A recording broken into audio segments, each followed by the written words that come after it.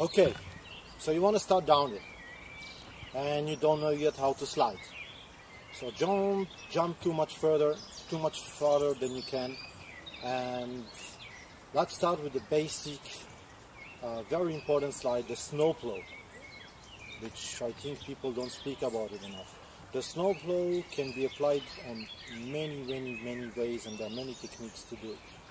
The first snowplow you can do, if you see I'm gaining a little bit speed and both of my edges are on the outside. What's important is to push the ankles the outside, not the toes, to create like a triangle. Because if your feet are both parallel, you see I'm gaining speed, nothing happens. But if I'm really pressing with my heels outside, creating a triangle, it's really stopping me to be fast. Okay, so again, look at my inline skates, they are really um, in a triangle position and that's what's stopping me. As you see, I use both of the outside edges. It's very good method to control the speed. You see, I don't gain speed. It's quite steep here. If I'm gonna let it go, I'm gonna I'm gonna fly. So this is a really good method to gain, not to gain speed, to control your speed and to be slow. Because the goal in downhill never gain more speed than you can control. You're gonna crash, you're gonna fall, and then you don't wanna do it again. So always be in control, always be in the speed you can control, you can stop it. Now, the other method of snowplow is to use the inside edges. As you see now, this is this will not work almost in a slow speed, okay? But in a higher speed, what's to happen?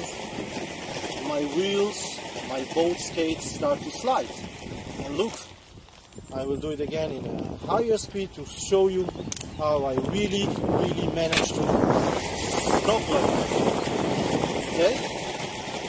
Voila. What you need to do again is to apply inside edges and heels outside.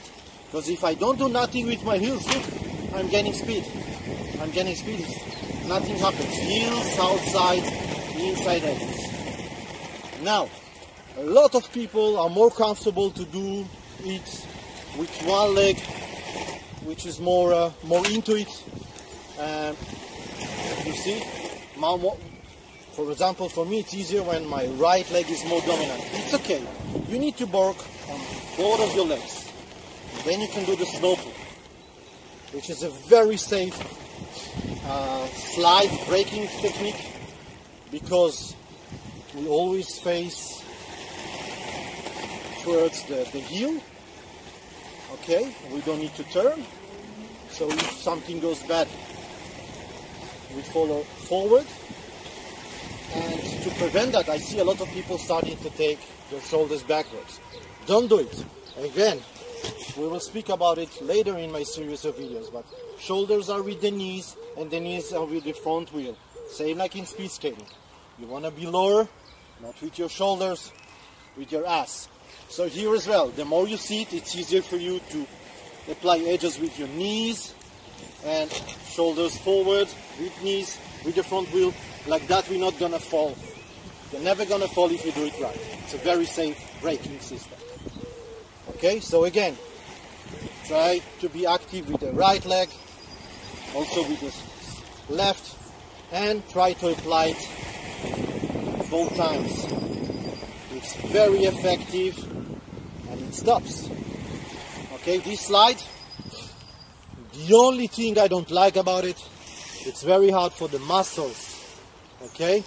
It's gonna hurt if you do it a lot. But in lower speeds in the city when you don't have place to carve you don't feel so much secure I did a lot of my students it's very very good method. And it's a must because if we master this the next step is gonna be the magic. So stay stay tuned for my next video. See you I'm gonna have some fun